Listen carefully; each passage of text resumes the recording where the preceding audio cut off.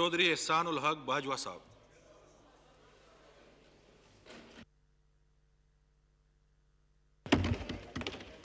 नाहमदह नसली रसूल करीम। बसमीम असलात वसलाम या सैद या रसूल वसलम या हबीबल्ला बहुत शुक्रिया, आपने मुझे बात करने का मौका दिया।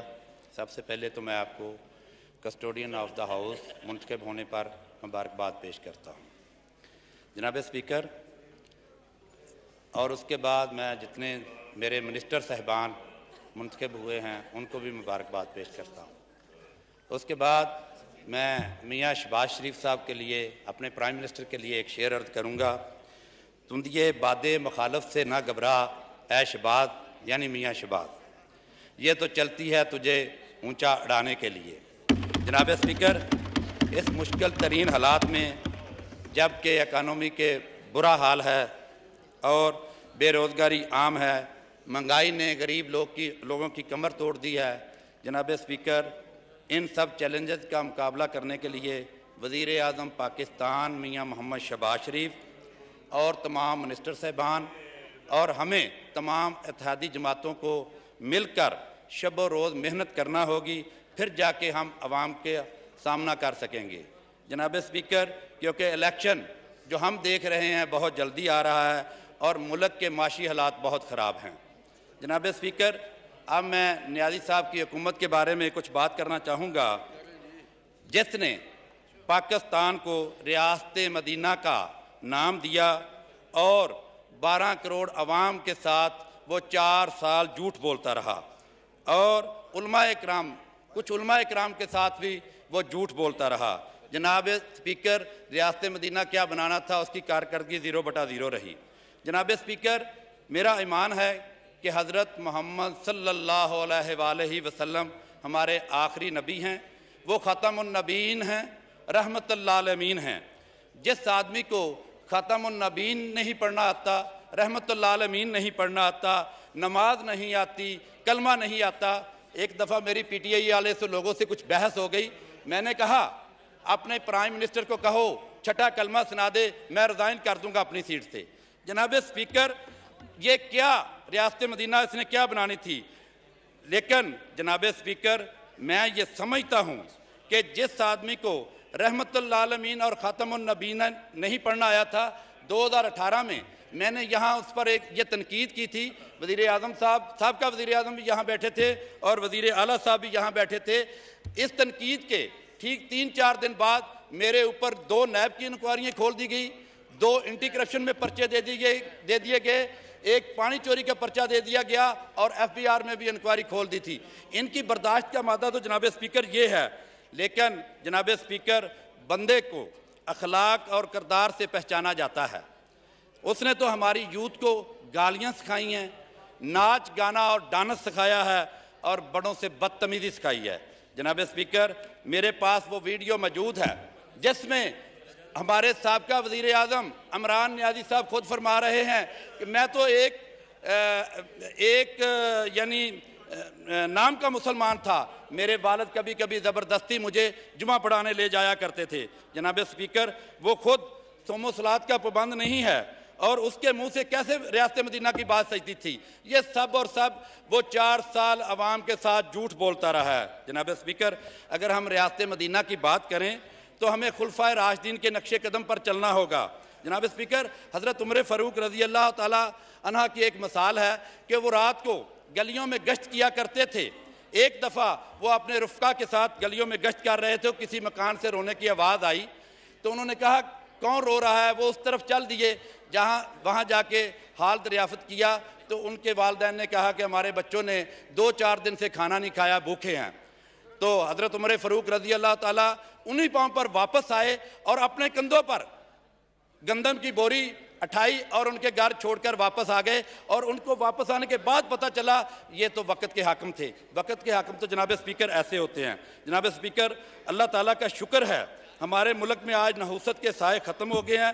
सबसे पहले मैं अपने कायद मियाँ मोहम्मद नवाज़ शरीफ साहब और वज़ी अजम पाकिस्तान मियाँ मोहम्मद शबाज शरीफ साहब और जनाब सबका सदर आसफ अली जरदारी साहब और तमाम अथादी जमातों का मैं इंतहाई मशकूर ममनून हूँ, जिनकी वजह से आज हम पुराने पाकिस्तान में बैठे हुए हैं। जनाब स्पीकर, अमरान न्याजी जब ये कहता था मेरे खिलाफ साहब इकट्ठे हो गए हैं तो इसकी मिसाल मैं इस तरीके से देता हूँ। जनाब स्पीकर, रात के अंधेरे में एक गधा ज़ोर से सर पर दौड़ रहा था और आगे कुआँ आ गया। वो कुएँ में गधा गिर गया। तो जनाब स्पीकर, सारे गाँव के लोग इकट्ठे हो गए और उनके आपस में इख्तलाफात भी थे। उन्होंने कहा, किसी तरीके इस गधे को पानी से निकालो और पानी साफ़ हो जाए। जनाब स्पीकर पिछले पचहत्तर सालों में कोई मिसाल नहीं मिलती जिस तरीके से हमने इमरान न्याजी को तमाम इतिहादी जमातों ने निकाला है। ये लफ्ज गधा जो है ना ये उसको एक्सपेंड किया। सर मैं उसको तो नहीं कह रहा मैं तो मिसाल गधी की गधे की मिसाल मैंने दी है। पचहत्तर सालों में ऐसी कोई मिसाल नहीं मिलती। जनाब स्पीकर नया पाकिस्तान का नारा लगाने वालों ने इस मुल्क का हशर नशर कर दिया है।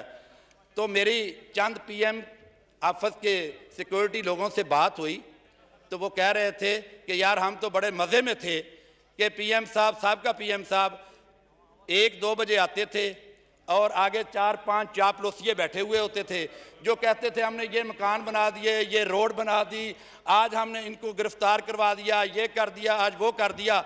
और वो हनस सुनस कर वापस चले जाते थे। जनाब स्पीकर, ये तो हमारे उस सबका प्राइम मिनिस्टर का हाल है। उसके मुकाबले में आज मेरे कायद मियाँ मोहम्मद शबाज शरीफ प्राइम मिनिस्टर का देखे, पहले दिन से उन्होंने क्या काम शुरू किया?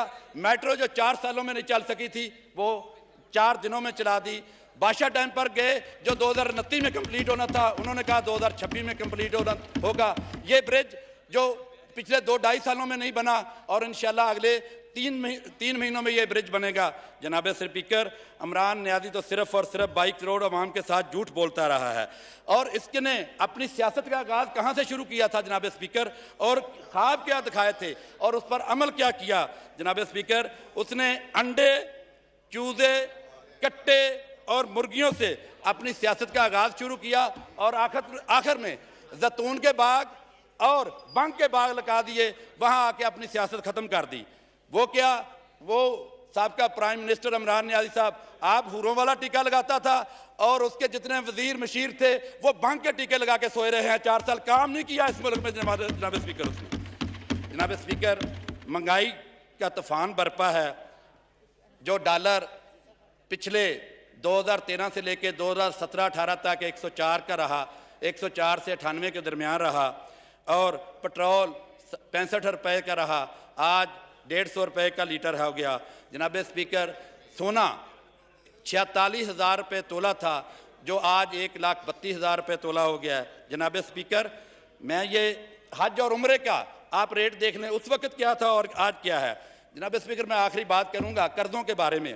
अगर कर्ज़ों के बारे में बात करें तो ये स्टेट बैंक की रिपोर्ट के मुताबिक मैं बात करूँगा।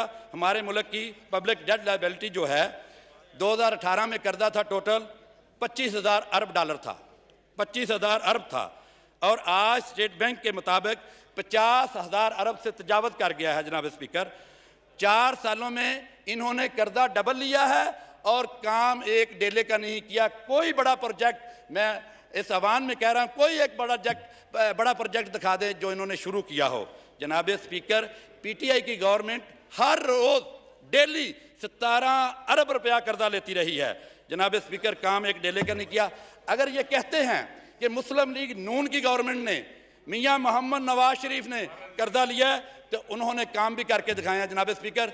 सबसे पहले उन्होंने बिजली के कारखाने लगाए, मोटरवे बनाई, एयरपोर्ट बनाए, मेट्रो बनाई ऑरेंज लाइन बनाई, नए अस्पताल बनाए, खाद और बीज पर गरीब किसान को सब्सिडी दी अस्पतालों में दवाई फ्री मिलती थी डेल्सिस फ्री होते थे। जनाब स्पीकर, पटवारी कल्चर का खात्मा किया, लैंड रिकॉर्ड को दुरुस्त किया, कंप्यूटराइज किया। जनाब स्पीकर, पुलिस के निज़ाम को अपग्रेड किया। एफआईआर जो थी वो कंप्यूटराइज की। जनाब स्पीकर, डाल्फन पुलिस बनाई और सेफ़ सिटी जैसे प्रोजेक्ट को मुतारफ कराया। जनाब स्पीकर, अगर कर्जा लिया था तो उन्होंने काम भी करके दिखाए हैं। इस पर मैं अपने कायद मियाँ मोहम्मद नवाज़ शरीफ और वज़ीर अजम पाकिस्तान मियाँ मोहम्मद शबाज शरीफ को खराज तहसीन पेश करता हूँ। आखिरी बात सर आखिरी एक शेर है आखिरी शेर है सर। करें। आखिरी शेर सर। जनाब स्पीकर ये शेर बड़ा मज़ेदार है सुन ले जरा ध्यान से।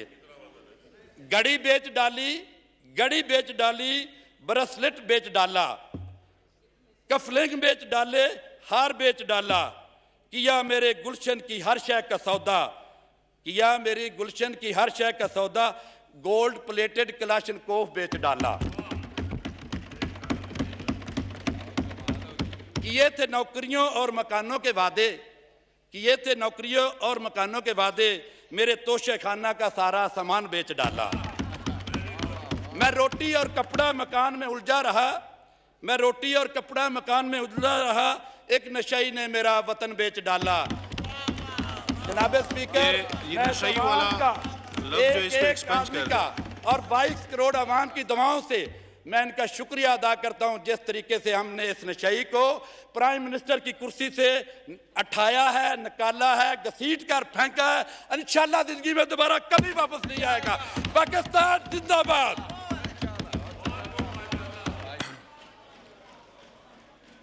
जनाब मुफ्ती असद महमूद साहब। बिस्मिल्लाह।